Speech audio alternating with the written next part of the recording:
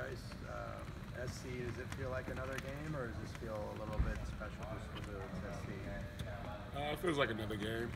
Only thing, only reason it would be special because we we got to get this W. Uh, that'll put us in a great position moving forward. So I'm not really worried about if it's against SC. I'm just worried about getting the win. Because normally they're chasing you. This time around, you're chasing them as far as the standings are concerned. Yeah, for sure. They're second right now. They might be like eight and two or something like that. So we're right there. Uh, if we get this done, it'll put us in a great position, like I said before. What are some of the biggest challenges they present as an opponent from having seen them on film? Well, just from playing them in previous years, they always come out hard against us. Uh, they got great length. Their zone is incredible, um, and they can score the basketball. Jordan, he does a lot with the ball. He has the ball the entire game, so he's making a lot of great plays. So they work really well together.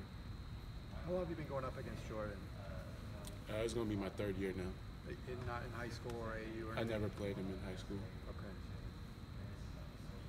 I think coaches has talked a lot about Jaylen being good in transition. We all know that, that he's great in transition. What, what has he done to get better in the half court?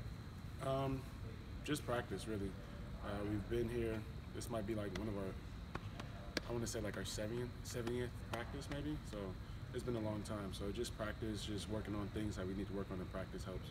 Just in terms of consistency and um, being patient and waiting for the half court game to develop, he's kind of taking steps in that realm. For sure. Uh, again, with practice, obviously coach gets on us when we mess up. So practice and repetition helps a lot. So I think just doing that in practice and in games, obviously going through that, he's not going to make the same mistake over. So.